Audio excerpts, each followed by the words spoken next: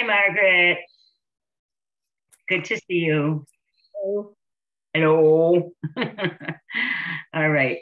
So what we're going to do now is we're going to go to um, watch that video and maybe I'll stop it in between. I don't know. We might just go right through the whole video. If there's any questions, jot them down if you want to talk about it afterwards, okay? It's going to be interesting. Yes, amen. Now that I got you all pumped up, let's go. let's go. All right. Just going to put it on and here we go.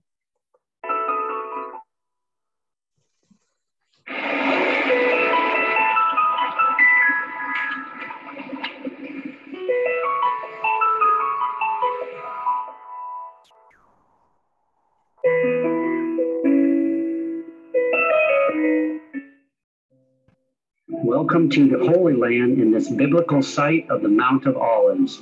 Right here, we're on the highest point on the Mount of Olives, and there's, and there's here called a Chapel of the Ascension. So this is the place where it is believed that Christ rose uh, and went back to heaven. He ascended back into heaven, and is here, according to Zechariah 14, that he will return in power and great glory. Also Matthew 24. So of all the places in Israel, I have to tell you, this is one of my favorite places because so much takes place here. This is where God will flip evil and make it subservient to righteousness.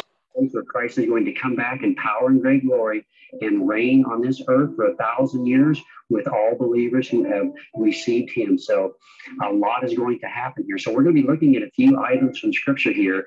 This is a video is about the end times right here from the uh, Mount of Olives. This is the highest point on the Mount of Olives. And once again, this is a place that is the site that has been marked out according to tradition, and we have to give tradition a lot of weight, wherein Christ uh, ascended, and then according to Scripture, He will return in power and great glory. So, it's of all the places, it's one of my favorite ones. So, this is going to be a great video.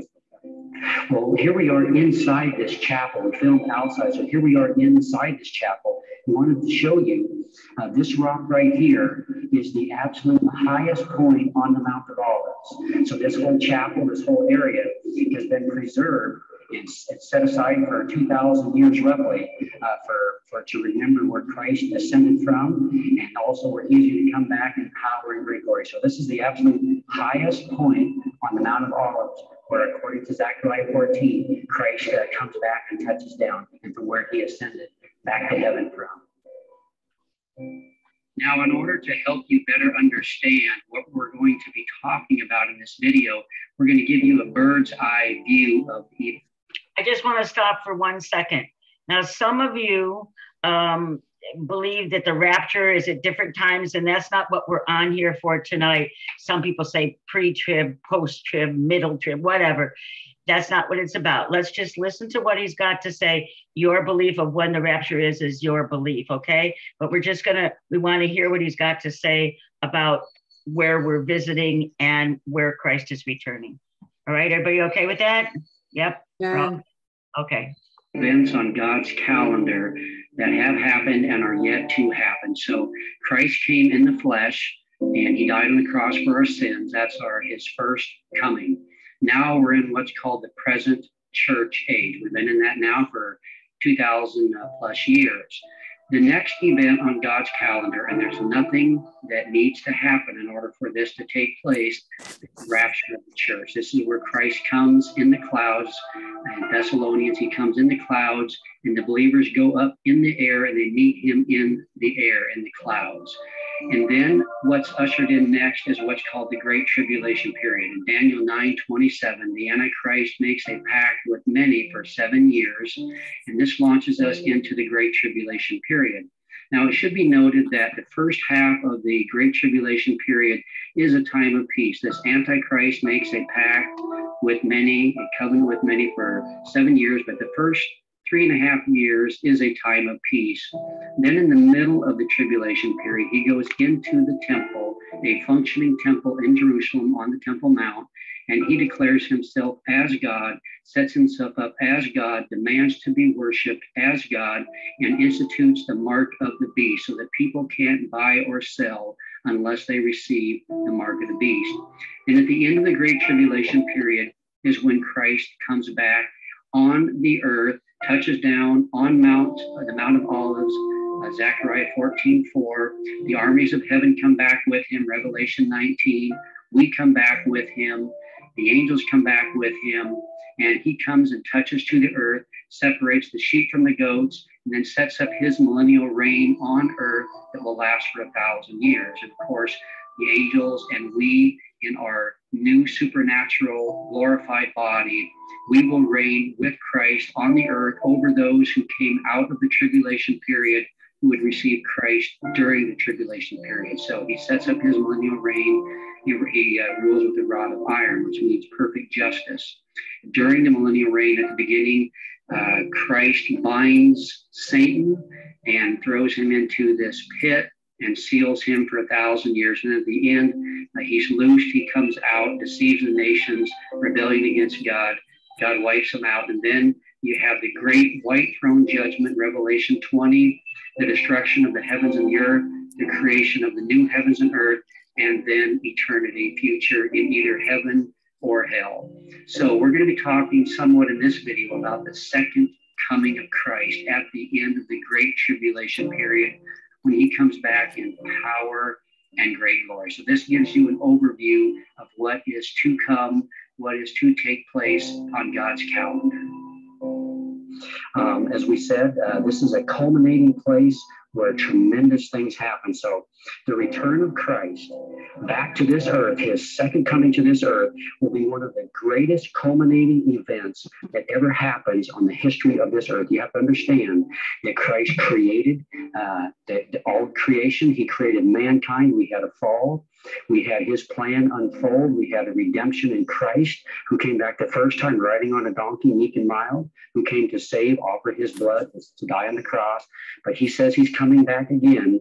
Matthew 24, many prophecies that talk about him coming back and he'll come back in power and great glory. So this is where it all takes place. So this is in essence one of the, the most dramatic culminating events of God wrapping up his plan for this creation, this earth, and mankind here before he creates a new heavens and a new earth after the millennial reign. So it begins right in Christ's return and Christ's judgment at the end of the uh, tribulation period. What we have before us is a great tribulation period that will happen. It says in Daniel 9:27 that that uh, this Antichrist will make a pact with many for seven years, and that launches us into the tribulation period. So we believe in a literal um, prophetic fulfillment of Scripture. So we're not taking anything in this sense as figurative; we're taking it literal. So that's going to be our uh, perspective as we uh, tell you and unfold in this video here. So in Revelation 1 7, it says that every being who has ever lived, even the demonic, uh, hell will be opened up to see Christ coming back in power and great glory. So it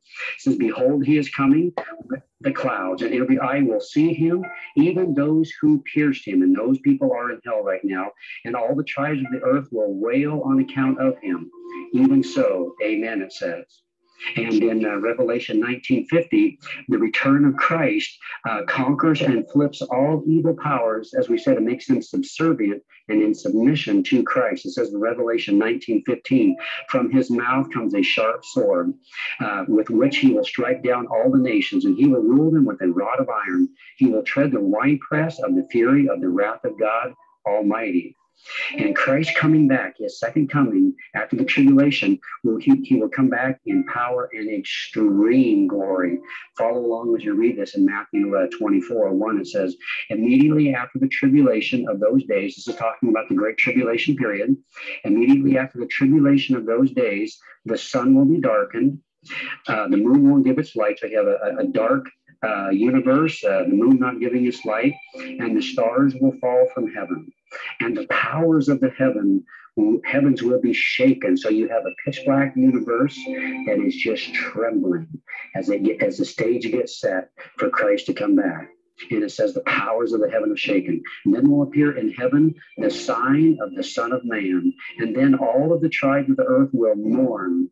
And they will see the Son of Man coming on the clouds of heaven with power and great glory. And he will send out his angels with a loud trumpet call, and they will gather his elect from the four winds, from one end of heaven to another. So Christ comes back in power and great glory. And it says all of the nations and all of the all the people will see him. And Revelation um, 6, uh, 16, it says, when he opened the sixth, sixth seal, I looked and behold, there was a great earthquake, and the sun became black as sackcloth. So once again, we have a black sun that doesn't give us light, and the moon will become like blood. And the stars of the sky fell to the earth as a fig tree sheds its winter fruit when shaken by a gale. So it's the same imagery, the same context, the same uh, scene that is being described in Revelation, just using a few different words. And, and the full moon became like blood. And the stars of the sky fell to the earth as a fig tree sheds its winter fruit, shaken by a gale. And the sky vanished like a scroll that is being rolled up and every mountain and island was removed from its place. And the kings of the earth and the great ones and the generals and the rich and powerful and everyone, slave and free, hid themselves in the caves and among the rocks of the mountains, calling to the mountains and the rocks, Fall on us, hide on us from the face of him who is seated on the throne and from the wrath of the Lamb. For the great day of their wrath has come, and who can stand? So then Christ comes back in power and great glory. And it says in um, Zechariah 14, 1 through 4, it says, He touches down right here where he ascended. It says um, 14, uh, 1 through 4 says, Behold, a day is coming for the Lord when the spoil taken from you will be divided in your midst. For I will gather all the nations against Jerusalem to battle. And the city shall be taken, and the houses plundered, and the women raped. Half of the city shall go out into exile, but the rest of the people shall not be cut off from the city. Then the Lord will go out and fight against those nations as when he fights on a day of battle. On that day, on that day, Zechariah 14, uh, 4, on that day, his feet shall stand on the Mount of Olives that lies before Jerusalem on the east. And the Mount of Olives shall be split in two from the east to the west by a very wide valley, so that half of the mount shall be moved northward and the other half uh, southward. So Christ literally touches down here uh, when he returns in power and great glory. Now, scripture also says that the believers will return with Christ in power and great glory as well. So in Revelation 19 11, it says, Then I saw heaven open, and behold, a white horse. The one sitting on it is called faithful and true, and in righteousness he judges and makes war. His eyes are like a flame of fire, and his head are like, uh, and on his head are many diadems, and he has a name written that no one knows but himself. He is clothed in a robe dipped in blood and, and the name by which he is called is the Word of God. John 1 4, he is the Word of God, became flesh. And the armies of heaven, arrayed in fine linen, white and pure, talking about the believers that come back, uh, white and pure, uh, were following him on white horses. So if you're a believer and you're following Christ, then you will come back to this very spot with Christ riding a white horse along with him. And it says, From his mouth comes a sharp sword with which he will strike down the nations and he will rule them with a rod of iron. He will tread, he will tread the winepress of the fury of the wrath of God Almighty. So when he comes back, it's judgment on the unbeliever. And on his uh, robe and on his thigh, he has a name written King of Kings and Lord of Lords. So he goes on and he says, Come gather for the great supper. He talks to the birds, says, Come gather. And uh, the armies are gathered together kings of the earth to make war against Christ, led by the Antichrist. And they all gather around to make war against Christ, part of the, in, in the Valley of Armageddon and Valley of Jehoshaphat or the Kidron Valley. All around this area, the nations are gathered to make war against Christ, but he comes back in power and great glory and just absolutely crushes them. And it says, um, in uh, verse 20, it says, And the beast was captured, and with it the false prophet who in his presence had done the signs by which he deceived those who had received the mark of the beast, and those who worship his image. These two were thrown alive into the lake of fire that burns with sulfur. And the rest were slain by the sword that came from the mouth of him who was sitting on the horse, and the birds were gorged with their flesh. So Christ comes back and judges the unbelievers. And uh, Satan and the uh, false prophet and the demons are judged. Satan is cast into uh, a bottomless pit and held for a thousand years. In um, yeah, also, it says that Christ will judge the nations and he will separate the sheep uh, who are believers from the goats who are unbelievers. So that happens right in the Kidron Valley, right below this Mount of Olives that we're standing on. It says in Revelation 14 20, it says, Then I looked and behold a white cloud and seated on the cloud was one like the Son of Man, with a golden crown on his head and a sharp sickle in his hand. And another angel came out of the temple, calling with a loud voice to him who sat on the cloud, Put your put in your sickle and reap, for the hour to reap has come, for the harvest of the earth is fully ripe. So what we have is an earth that is moving towards more and more uh, sinfulness, evil, uh, uh, rejection of Christ, uh, immorality, uh, murder, uh, just absolute chaos. And so it says here that now the, the, the harvest is ripe. Now it's come to a point where God says, enough. He comes back and he puts in his sickle and he reaps for the hour uh, has come and the harvest of the earth is fully ripe. So he who sat on the clouds swung his sickle across the earth, and the earth was reaped. Then another angel came out of the temple in heaven, and he too had a sharp sickle. And another angel came out from the altar, an angel who has authority over the fire. And he called with a loud voice to the one who had the sharp sickle Put in your sickle and gather the clusters from the vine of the earth, for the, the of the earth. The angel swung his sickle across the earth and gathered a great great harvest of earth and wine press and is trodden outside the city, and the blood from the wine press for 1,600 stadia, which is about 200 miles. Uh, so what it would do is that all of this takes place. This wine press is right in the, the bottom of the Kidron Valley, in between the Mount of Olives and the Temple Mount the old city of Jerusalem. So that's where uh, the wine press is at. In fact, uh, that's where the Garden of Gethsemane is, and that's where all the olive press was. That's where Christ sweat great drops of blood. So in that same Kidron Valley is where this judgment takes place and this wine press happens. And it says the blood runs out of this area for 200 miles. So it will go down towards Jericho. It will go um, east towards the uh, Dead Sea, then run south down to the Red Sea. So that would be 200 miles. So it goes down and uh, then it goes south, east and then south. So uh, 200 miles up to the horses' bridles, the blood runs. So it is an absolute uh, horrendous sight where I say the, the, nations are gathered together in this wine press of God's judgment uh, upon them. So uh, this, the judgment on unbelievers will be severe.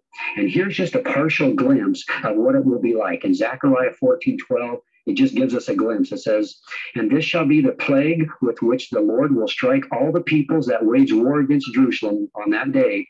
Their flesh will rot while they are standing on their feet. Their eyes will rot in their sockets, and their tongues will rot in their mouths. So in this wine press, it's almost like they just dissolve. They're just absolutely crushed. Um, and then the goats go into the lake of fire. So their their their bodies are uh, rotted and consumed. The blood runs out, but their spirit and their soul then goes into the lake of fire. And then the believers who come back with Christ and their supernatural bodies and reign with him for a thousand years, they come back on the white horses and they will reign with Christ right here from Jerusalem uh, for a thousand years. And then that those that receive Christ during the tribulation, those are the sheep, they will go into the millennial reign in their natural bodies. And then Christ will reign over the earth uh, for a thousand years. And the people that went in, in their natural bodies into the uh, new millennial reign, uh, then they will populate the earth once again. And at the end of a thousand years, then they rebel against God. He wipes them out. And then uh, he um, cast uh, Satan into the lake of fire forever. So, what can we observe about what has taken place right here? Every being that has ever been created will see Christ return in power and great glory. So Revelation 1 7. So in Christ's second coming, every being that has ever been created, I believe even the demons, all the demonic world, Satan, uh, everyone in, in hell, there won't be one being, rational being who has ever been created that will not witness Christ's second coming. And it will be in power and great glory. It says that at that time that Christ uh, returns, in his return, he, he conquers and he flips evil. That's where evil is conquered. And now it is submitted to Christ and he rules with the rod of iron. His coming will be in power and great glory. He said, uh, the sun will be dark and the moon will be light, and the fall and the heavenly bodies will be shaken. And it says, as the uh, as the lightning flashes from east to west, then shall the, the appearing of the Son of Man be. So everything will be dark, shaking, and then in a brilliant uh, Mm. ray of glory as the lightning. and just Christ's presence just lights up the whole universe, and He comes back in power and great glory. And we who are believers, along with Him, riding uh, white horses. So, uh, believers and angels will return with Christ, and then Christ will judge all of the nations in the, in the Kidron Valley or the Valley of Jehoshaphat. Uh, he will return right here on this place. This is the highest place on the Mount of Olives. So, right here is where he ascended. And this right here is where he will return in power and great glory. The mountain will split in two. And um, it's just absolutely incredible. It just makes me uh, shudder to think that I am standing right here in this place. And one day I will return with him in the clouds of heaven and touch back right here with my glorified body right here on the Mount of Olives. So, uh, you know, this uh, makes me ask myself some questions. I really have to ponder uh, this reality. Um, am I living a devoted life? Am I living a, a life that is really serious about following Christ? Am I a real, true disciple of Christ who's not following my culture, but I am really uh, locked into following Christ? Uh, am I watchful and ready? Christ said to be watchful and ready, for you don't know the hour, the day or the hour. And um, so uh, it just makes me uh, reflect and kind of really pause about uh, my life and hopefully maybe uh, you as well. So anyway, uh, fascinating place, uh, one of my favorites in all of Jerusalem because so much happens right here. So I hope that you've enjoyed this video. God bless you and thanks for watching.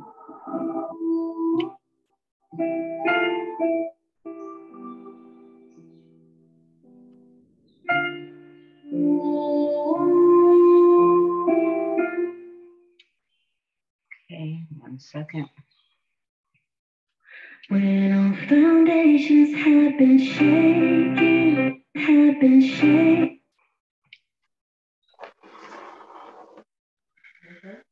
Yeah. Second. Okay. So most of you are muted. You can unmute yourselves. And let's chat about what we just saw. Let's talk about this. Um, what did you think about seeing that location? That's cool. That is Mhm. and and to know, like he said, he kind of trembled just being there with Mhm. excitement, anticipation. Um, and that, my friends, is not something that's made up and possibly a mistake because that is scriptural. That is where it says he's going to be returning right there on the Mountain of Olives.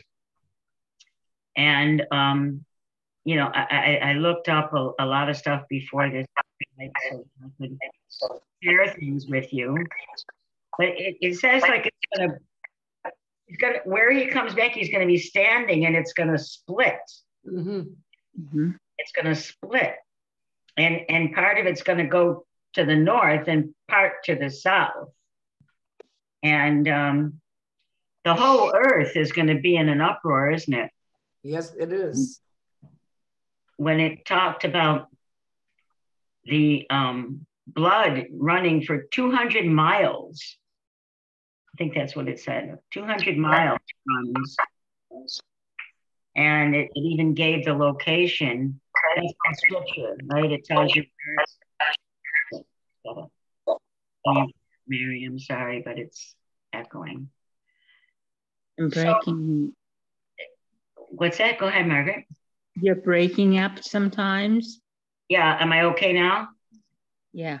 Yeah. I think uh, for some reason Mary's connection was causing it to break up like that, so I, I muted her. Um.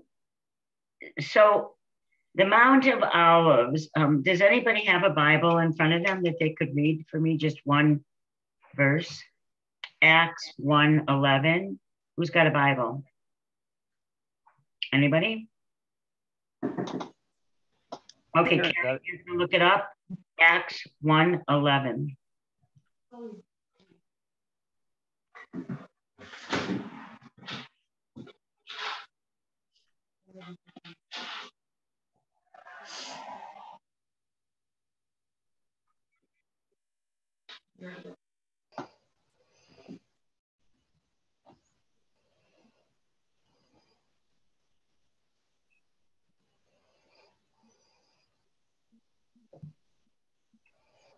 You're okay. Oh, she just muted yourself. There.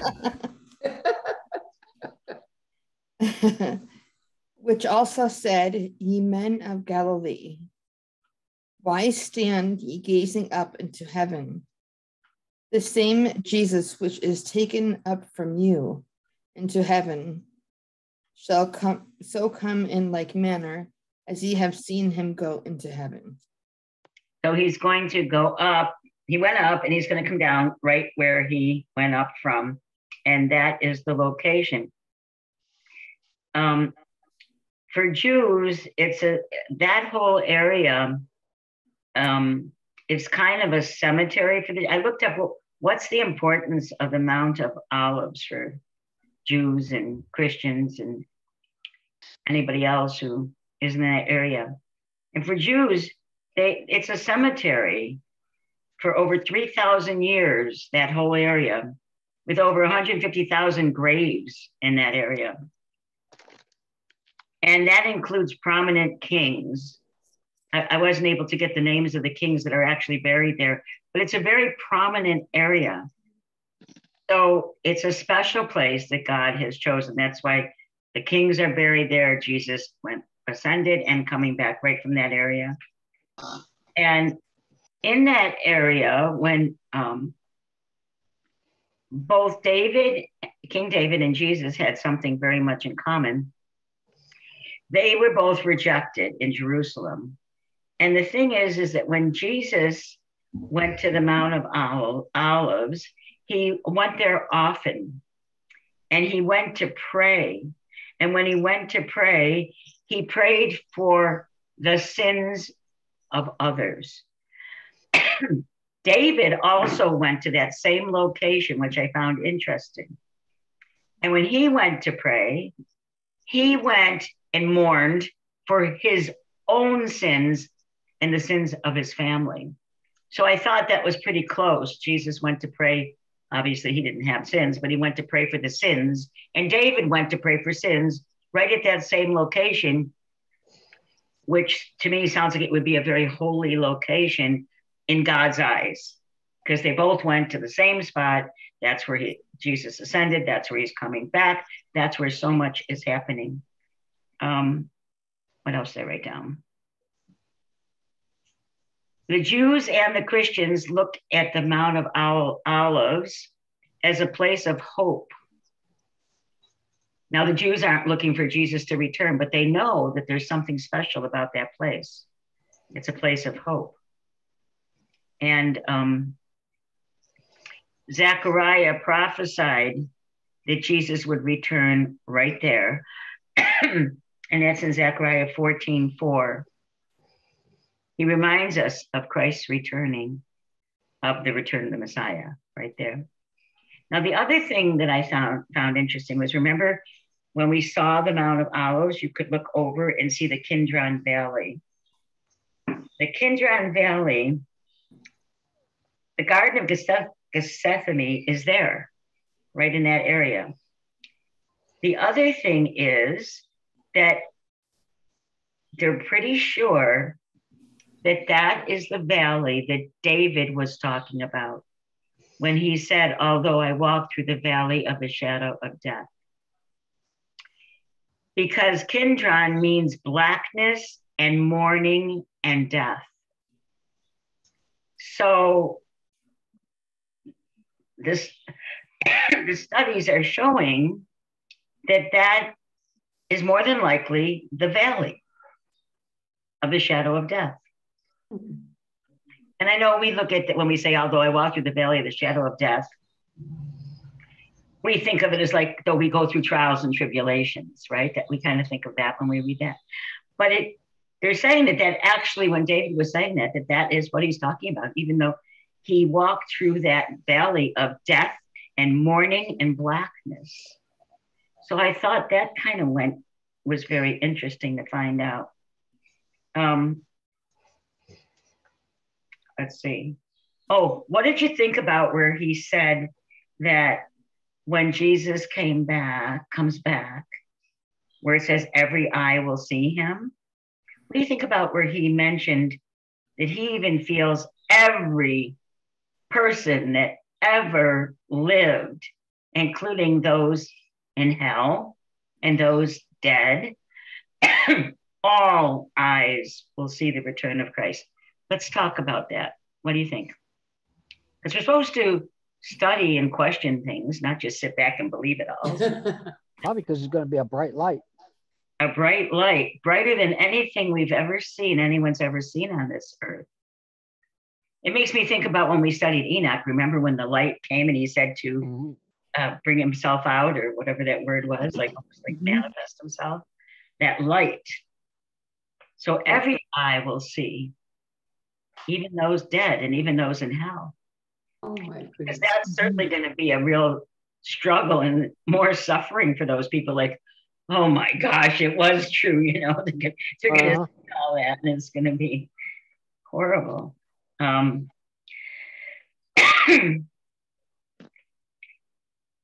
he mentioned that we will come back with him, Mhm.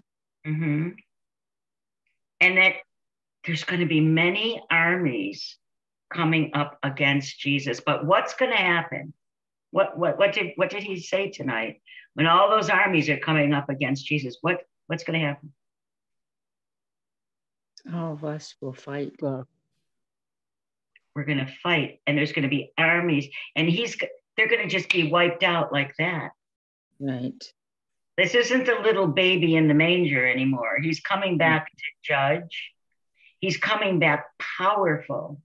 Amen.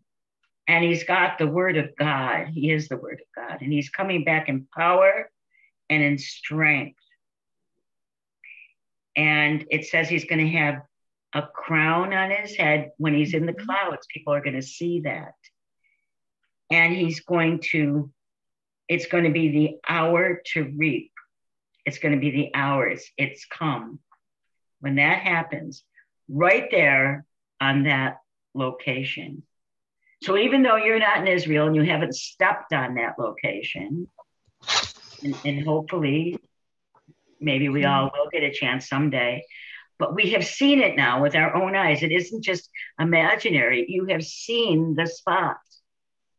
You saw looking over and down into the valley the valley of death Inland valley um says that there's going uh, the judgment this time will be really severe patty I, it just hit me that every knee shall bow and every tongue will confess that he is Lord Jesus Christ. And everyone will confess it when he comes again. And I think he'll come in ma- majestically. He'll just be coming to, to be with the children of men. And that it will be one of the glorious days that we will have is to see that. And I think we have to live our lives in, in order to, to get to that point like yeah the, the guy was saying that he was teaching, he would want to see that, but you have to get your life in order to see that. You know, I'm- I don't know what I'm trying to say, but that's what I'm trying to say, I guess. You're exactly right. You're exactly right. Um, the spirits that that He's coming to judge, and God is a loving judge, and God is a good God, and God is a good, good Father, and all the things we say about God. But He's also the one who judges, and He has given us all this time, all this time to get our acts right. We still got a little time, guys. I love what um, the pastor said there about even he's examining his own self.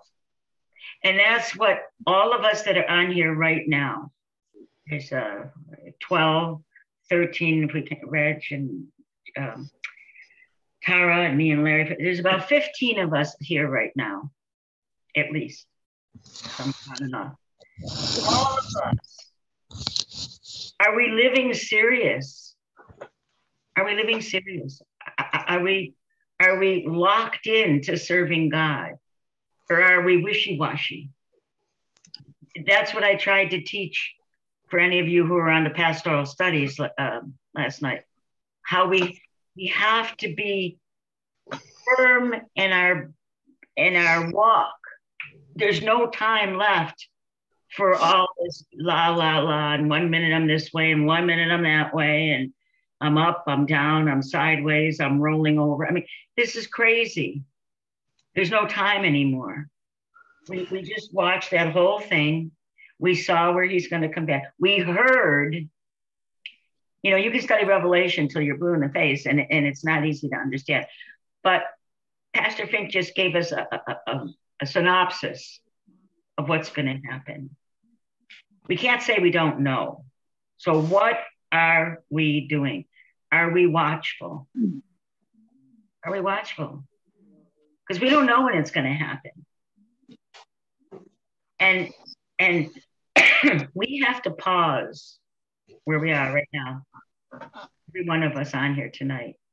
Just pause for a minute and think about your life. Do you are you tight with God?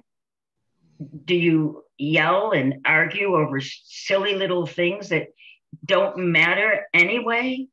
Do you trust God for everything in your life? Are you serving Him? Are you serious? Are you serious? Because we just saw all this. We, we, we can't sit back and say, you know, well, I never been to Israel. I don't know what any of that's. We just saw it with our own eyes, just as if we walked there. Not quite, but almost as if we were walking there. It's real. And we we need to to put it in our language, we need to get our act straight. Amen. we when when God puts you somewhere, calls you somewhere, if it's a little spot for him or it's a big spot for him, you can't play a game in it, guys. You got to stick with it. He sticks with you. He doesn't leave you. Ever. when was the last time God left you? He doesn't leave you. And we got to get serious. Um, does anybody have anything? I know I asked you to talk and I'm doing all the talking. I can see your hand going like this. Go ahead. are we just are you are you orchestrating what I'm saying or did you want to talk? there was a time when I had said, and I got it partially right and partially not enough, but on his, on his second coming, he's not coming to save. That's over with. Hmm. He's coming to judge. So between the present and when he comes, all his works that he's given us to do is still doable. And all the ways that he's going to reward us are still rewardable. But there's no more playing games. Exactly. He's going to be coming for judgment. Did you do what I asked you to do? Did you follow my commandments and be true? Did you help the lonely, the tired, the old, the orphans? Did you feed them? Did you do everything that you were supposed to do? Because if you didn't, I never, I, I can see him saying, I never failed. And I never gave you a weakness to fail. I gave you a strength and a job to do. Did you do it? Yeah. So the salvation call is at that point in time is non-existent. You can't barter your way in. You can't buy your way in. It's the day of judgment, and judgment will reign. And for us that have studied Enoch, we know what the judgment is going to be. It's not going to be pretty. And me, for one, I don't want to be there on mm-hmm. Judgment Day. Mm-hmm. I do not want to hear, I never knew you. That's the last words I never want to hear is Right. I never knew you. Yeah. That's good. Um uh Patty? Yeah, and I was want to touch on too that um a thought hit me um that we're when here we're here on earth and that we have all these tendencies we have riches and things. You can't take it with you when you die, right? You cannot take all these earthly possessions that you have. But one thing I've learned is, is how you treat others and how you live your life and what you learn from God. And that's what you take with you. That's your greatest treasure. That's where you laid up for your treasures in heaven. And that's what he's going to judge that. He's going to, you're going to stand before God. And you're going, he's, he's going to judge you for that. And he's going to judge us for everything that we've ever did to anybody or said anything or did anything out of the way. And he's he's like Brother Larry says, he's he's not fooling around. It's it's, yeah. it's done. Time is done. Time is over with. Yeah. You know. Well, that's why if you notice a lot of the sermons I've been doing lately, uh, they're a little hard. They're a little they're they're telling it like it is, but it's because I love you and it's because God's like not just encouraging me, but like pushing me that those I, I try to look at sweet little things to say like messages, but there's a lot of pastors out there just with their big smiles and and and saying what people want to hear. They're not talking about blind spots. They're not talking about getting along with people. They're not talking about loving one another. They're talking more about loving yourself. And that is not what God wants from us.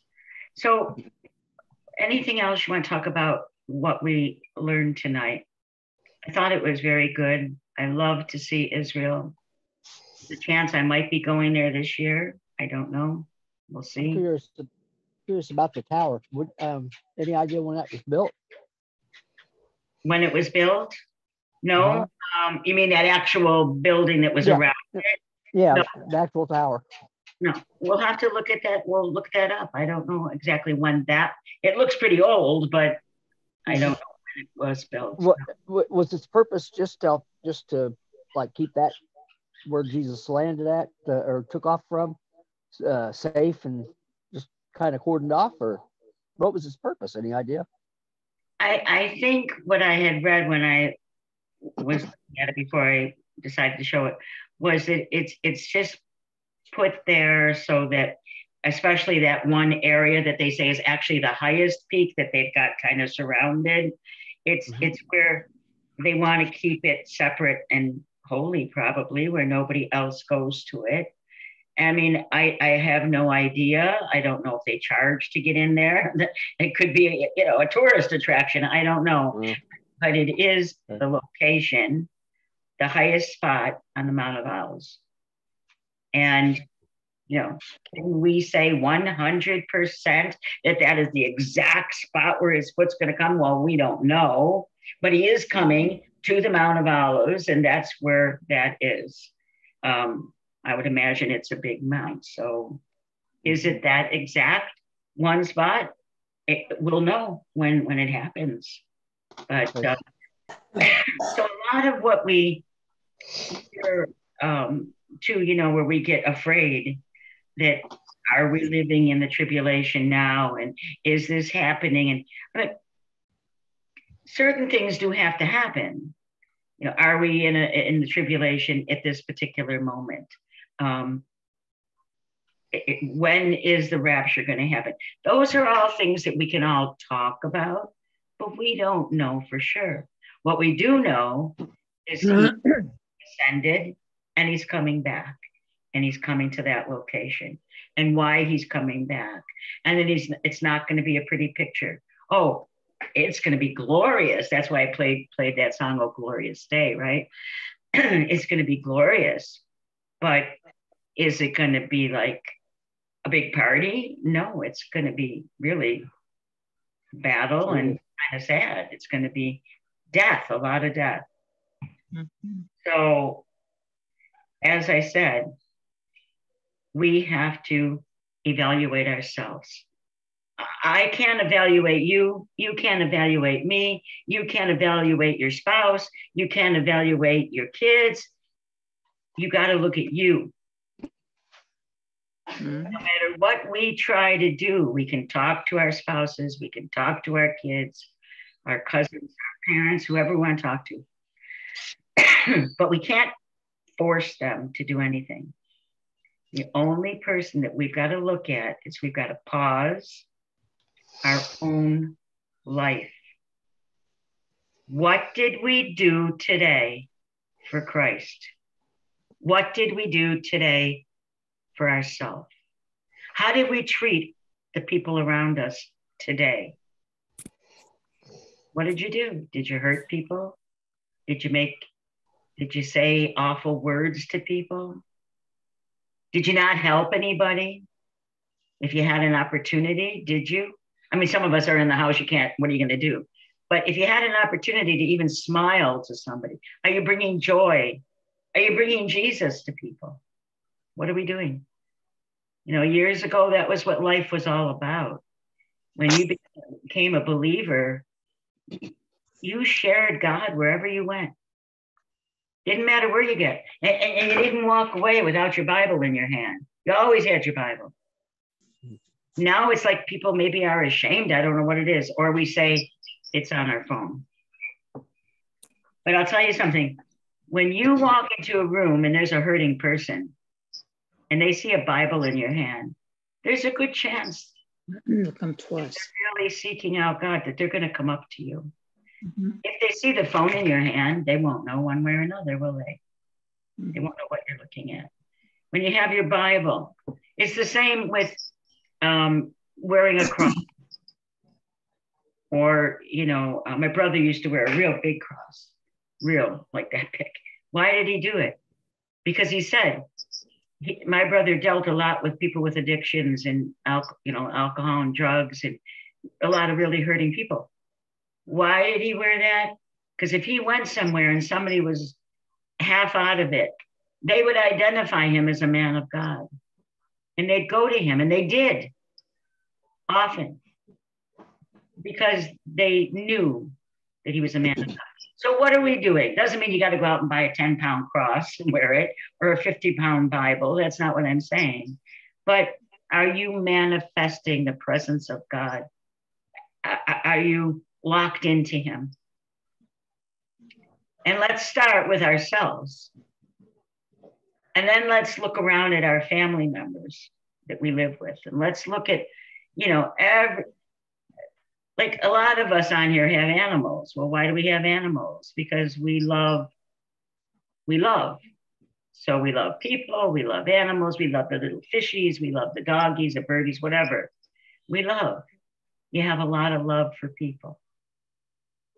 That is showing Christ. That's living for Christ. I don't mean you have to go out and buy an animal. I'm just, I'm using that as an example. so, what more can we say? Somebody? If somebody's, if God, somebody, if God is calling you to do something, are you going to do it? Oh, yeah. Mm-hmm. No matter what it takes. No matter what it takes, guys, do it. Well, I got a little little praise report to tell you. What's I'm that? still here. I'm still here today. That's right. I'll tell you what, I- why I say that is because um, in this room, for some reason, this light socket over here, if it gets jiggled a little bit, the lights will go out in here. So I decided, well, you know what, I got to go do some stuff back there anyway, and I'm going to just take it apart and see if something's loose on it or what. And so I went back and I flipped the breaker off, and I I took and wiggled the thing, make sure the lights are coming back on and off, and make sure you know, make sure it was off and nothing, nothing lit up. So I'm over there messing, have a head have headlight on and was messing with all the wires and fiddle, fiddling around with them and uh, it, it looked okay to me so i put it back in put it back together and went and flipped and and uh, oh I'm, i remember what it was when i when i put the uh, the the light cover switch on it the lights came on i had turned off the wrong breaker Oh, oh my oh, God. wow. i turned off the breaker for another room thinking it was this one And you were in the middle of playing with electricity. yeah and I, Now, I weren't was you try- never to play with electricity? you would think well, you know, it's interesting too. Like, uh, you know, we've been praying for my dad. I said, well, dad, I got another, I, I got something to tell you. I said, I've got something to prove there's God. And told him all about it. He goes, oh, didn't know what to think. Yeah, well, that, that right there is a witness to him that you were Every little every little chance I get. That's right. Everything. That's amazing. And I am grateful to God you are here. Yeah. We need you. We don't want anything happening to you. We need all of could you. believe, I could that blew my mind that I um, was messing with live wires the whole time and didn't, didn't know Wow. it. Wow. We love you, but you're not quite right. No. I just need to know which rooms are actually to the things on the brochure. So, okay, anybody else want to um testimony, say anything about what we learned? I actually have a praise report. Sure, go ahead. Um, I'll drink to that. my my friend Dottie um was seeing certain kinds of spirits and shadows on her house. And I prayed over her house from from being on the phone FaceTime. And that was like four days ago. And yesterday she said that she hasn't seen anything or heard Oh, anything ever since then. So that is amazing. That's a that's wonderful. And that shows the power of God again, right? It's not the power, Amen. it's the power of God working through you. Amen. and you were obedient to do it, Oh, yeah. right? Oh yes. That's great. That's good to hear. Anybody else? No? Um, Eddie apologized, Pastor Eddie, for not being here. Um, his Charlie had to have their dog, one of their dogs put down today. And um, they decided to how they managed to get this done so quickly, but it was also cremated today. And they were taking the dog to its favorite park and letting the ash. So he said, you know, he he had to be with his kids. With. So he said he was sorry, but he'll watch. them. Look how cute he is. Hey, Zane. Hi.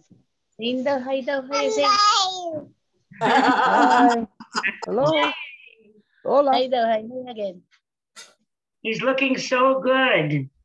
Yes. I don't know if you all remember, that's the baby that had all those horrible blisters all over his feet. Did you remember?